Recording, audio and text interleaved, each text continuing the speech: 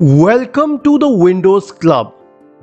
If you encounter the error 0x80070522, a required privilege is not held by the client, then either read through this article on the Windows Club, the link has been shared in the description section, or watch this video.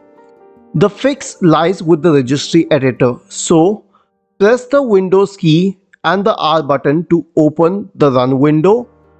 Type the command regedit and hit enter to open the registry editor window. Now go to the path mentioned here HKey local machine, software, Microsoft, Windows, we'll have to scroll a little for Windows and then go to current version and then go to policies and then system. If we do not find a certain key on an entry, we will create it. But we found all of them.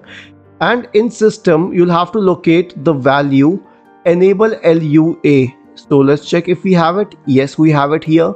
But if you don't find the value here, simply right click in an empty space, select new, dword 32-bit value and add it. But since we already have it, we will double click on this value and change the value data to 0. Now upon hitting OK, I'll resolve the problem.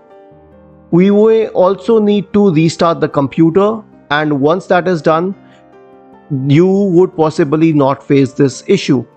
However, if the problem persists, please go to the original article on the Windows Club, scroll down to the comment section and write your query we will surely answer to it.